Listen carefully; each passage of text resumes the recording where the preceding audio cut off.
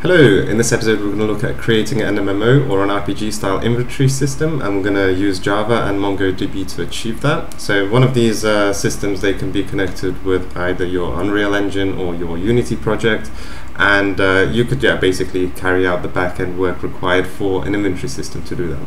So as usual there's a blog post covering the vast majority of the steps here um, but all of the code is basically available on the GitHub repository. So some of the key pieces of interest might be actually the testing part where I show you how to configure your postman uh, for these requests. So there's some screenshot examples of how to do it, your uh, header requirements and the, the body, the, the JSON body that you should add as well. So what I'll probably do to get started with is show you it working using Postman so that you know um, whether this is something that you want for your project or not. Uh, and then we can start looking at the high level uh, code as well, so looking at the flow of things, right?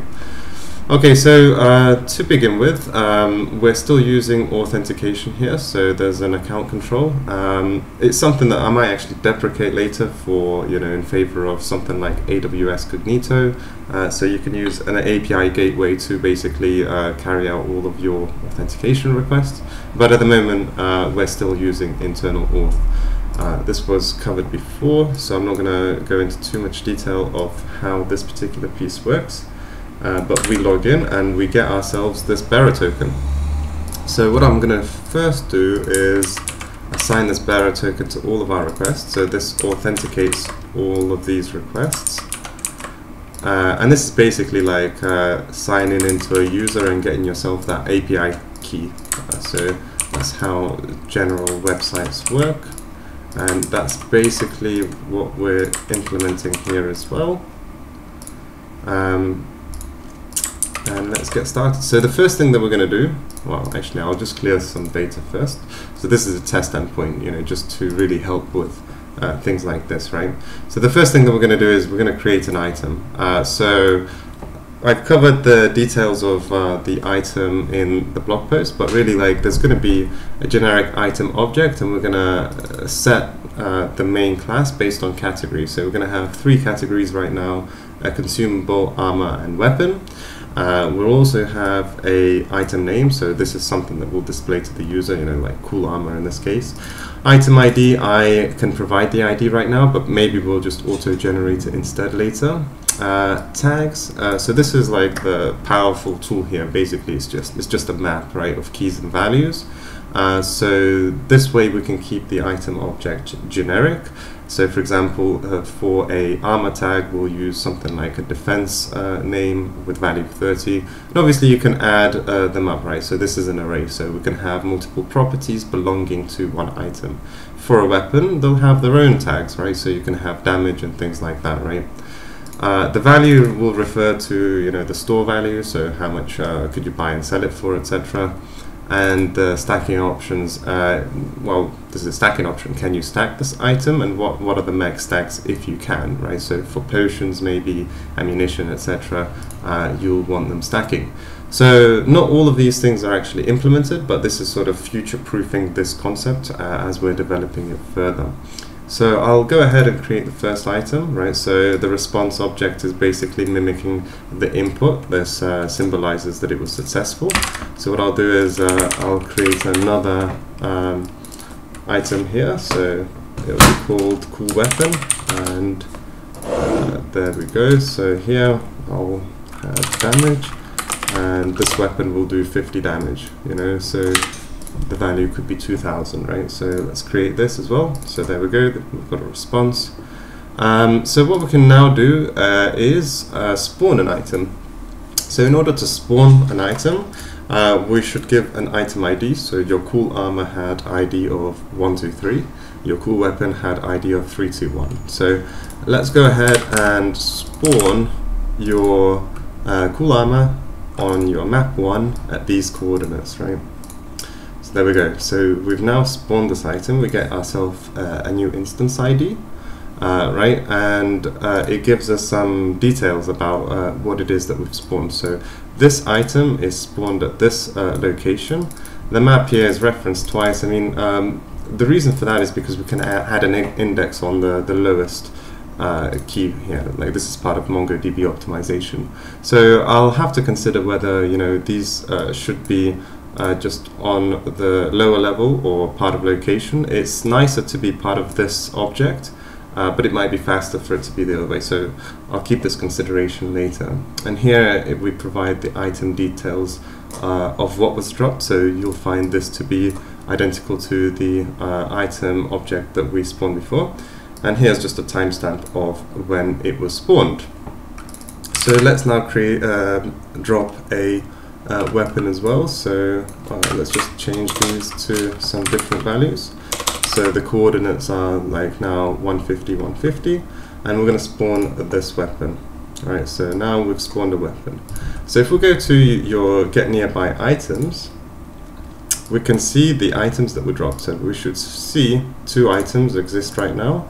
Um, and uh, the first one is at coordinates 123, 123.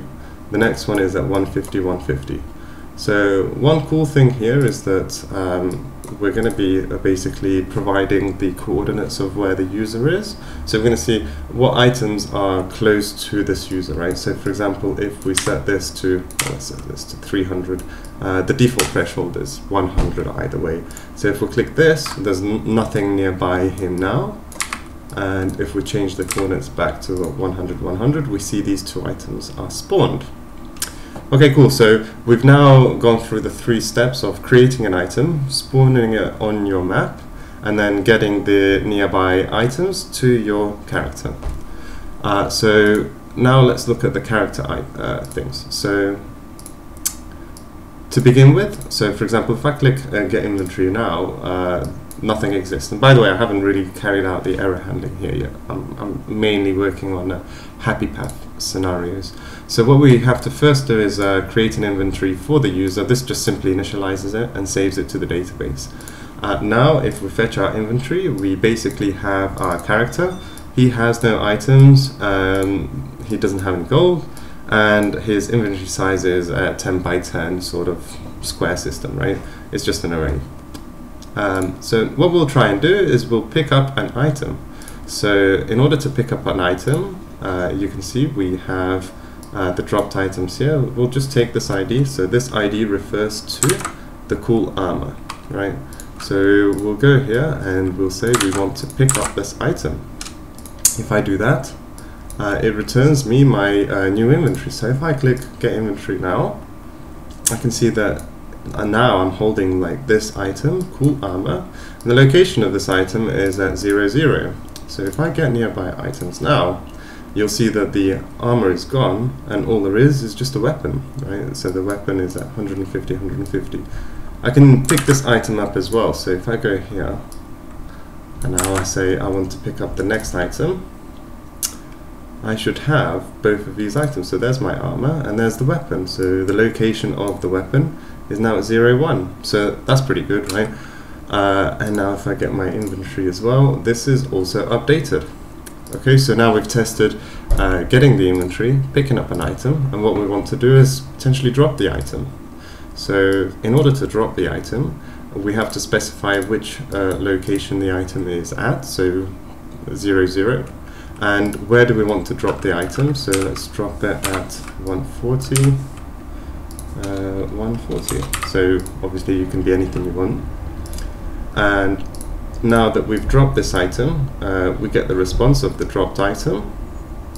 And if we go back to here, we should see that dropped item again. Okay, great. So there it is. There's the cool armor that we just dropped. It's dropped at this uh, coordinates.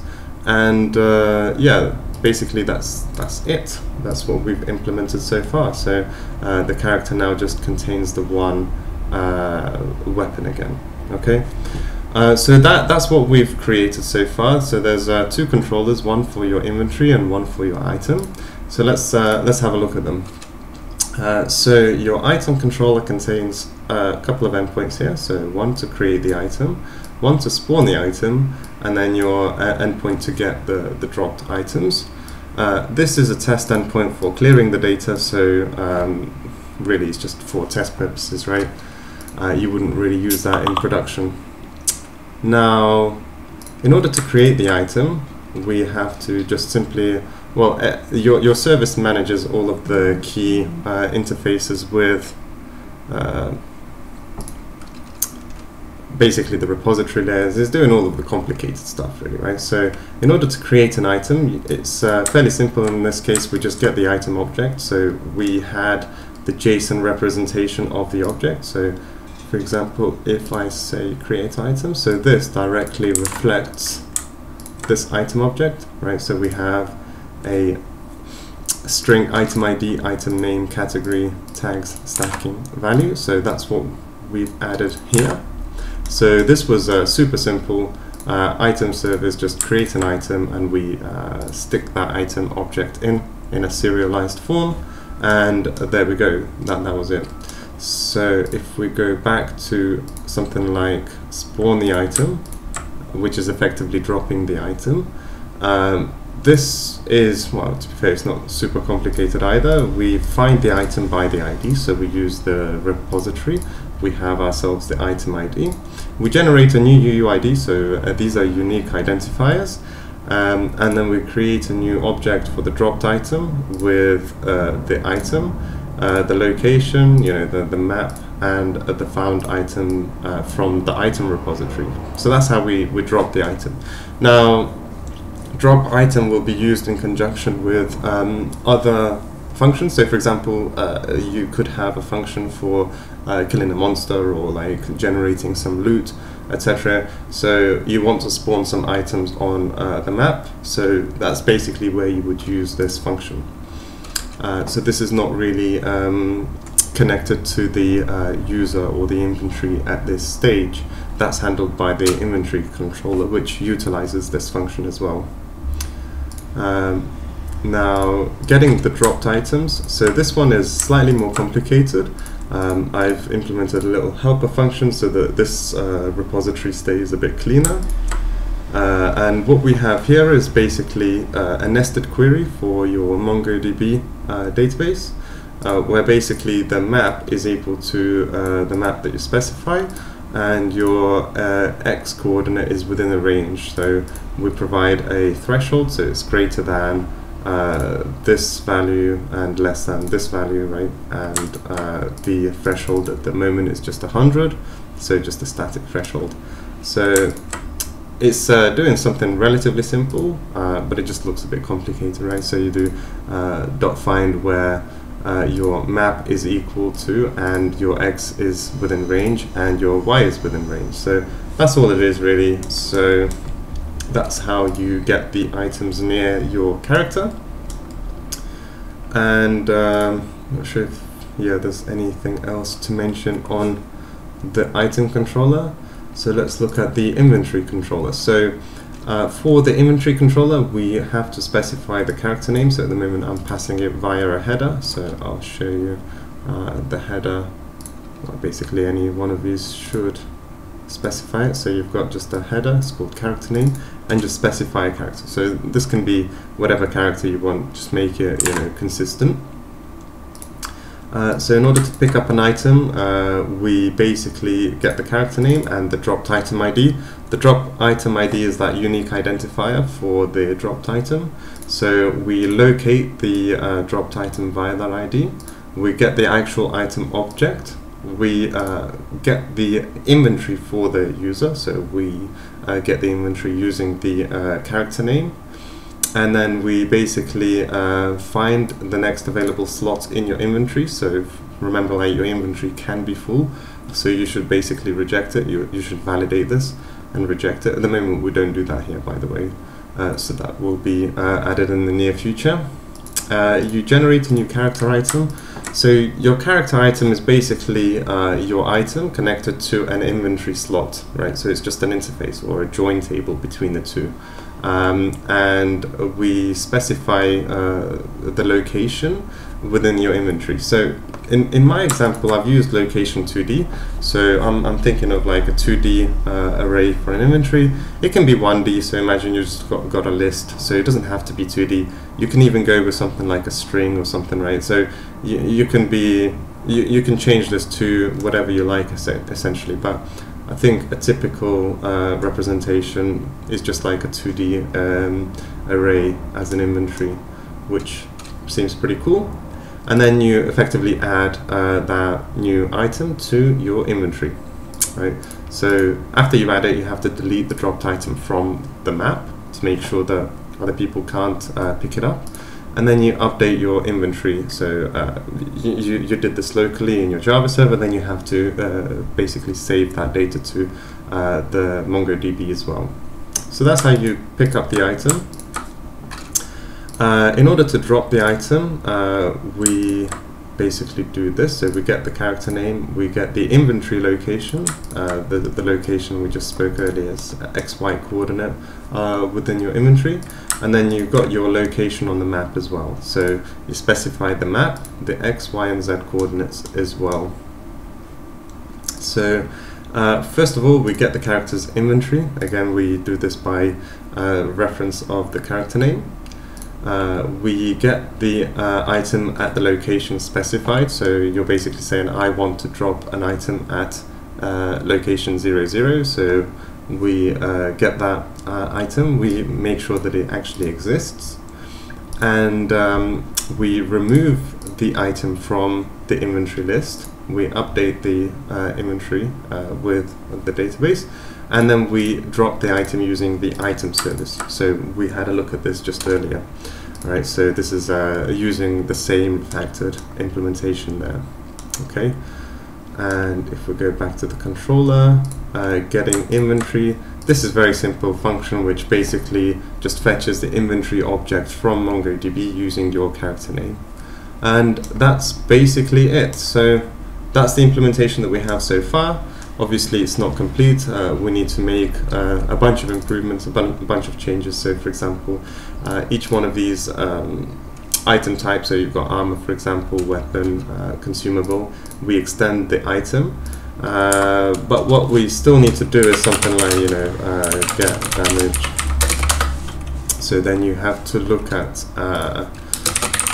things like um, you, you, have your, your tags and then you, you, you look through the tags to find the one which has uh, the uh, name damage uh, or defense or whatever and uh, basically return the value specified to it. So there's still a bunch of changes that we have to make uh, but it's work in progress and it's really hit the checkpoint where we can start uh, integrating it with uh, Unreal uh, and basically seeing some things happen uh, in UI.